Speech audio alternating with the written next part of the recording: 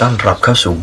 รายการ Talk About Movie ช่องนี้มีหนังน่าสะสม ให้นักสะสมทุกท่านติดคลิกเข้ามาชมรายการ และยังเป็นอีกทางเลือกที่ให้ทุกท่านได้หาหนังดีๆ มาไว้ในคลิปชั่น ในคลิปนี้ผมจะมาพูดถึงหนังน่าสะสม หนังน่าสะสมในคลิปนี้ก็คือภาพยนตร์ภาคต่อในปี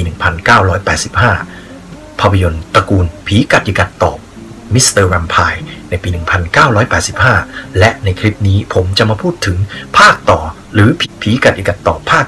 2 หรือ Mr. Vampire Part 2ในปี 1986 หลังจากที่ภาคแรกในปี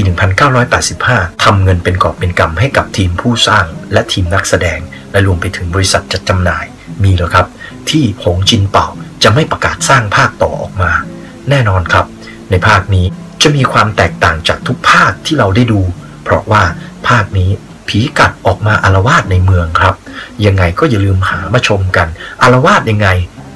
ต้องบอกคนว่าภาคนี้เป็นหนังครอบครัวโดยแท้จริง ครอบครัวผีครับ ผีดิบ ผีดิบหลายพันปีที่โดนปล่อยออกมา โดยทีมหาสมบัติ เรื่องโอลมานจึงเกิดขึ้น เมื่อผีดิบออกมาอารวาสในเมือง ทั้งผีพ่อ ผีลูก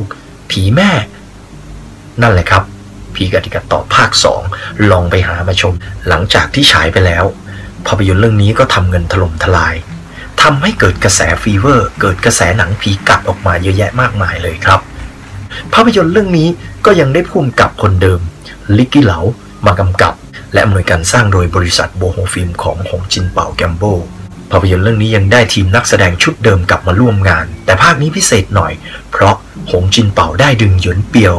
มาร่วมนำแสดงในผีกัดยิกัดต่อภาค 2 ถ้าพูดถึงหนังในตระกูลชุดผีกัดยิกัดต่อขาดอาจารย์ผีกัดไม่ได้เลย หลินเจิ้นอิงนี้ เขาคืออาจารย์ผีกัดที่เหมาะสมที่สุด ภาพยนตร์เรื่องนี้ก็ยังร่วมด้วยหลีไช่ฟง